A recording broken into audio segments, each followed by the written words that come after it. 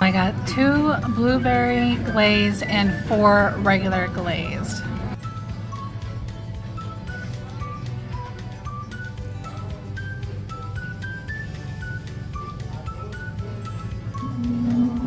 Tell us what you got. Okay, so uh, I got the cream filled.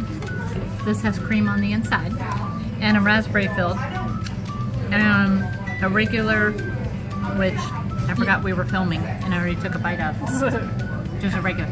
If you come around five, or I think nine in the morning, they're fresh and they just melt in your mouth.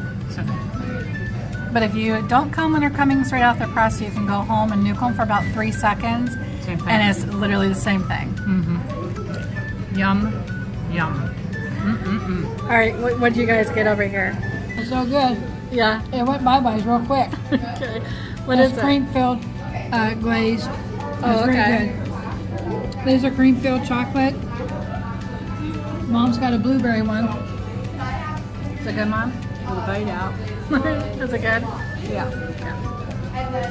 So I've had the cream filled ones before, and they're very good. I think those are Lydia's favorites. But I'm just all about the old fashioned glazed donuts. Yep.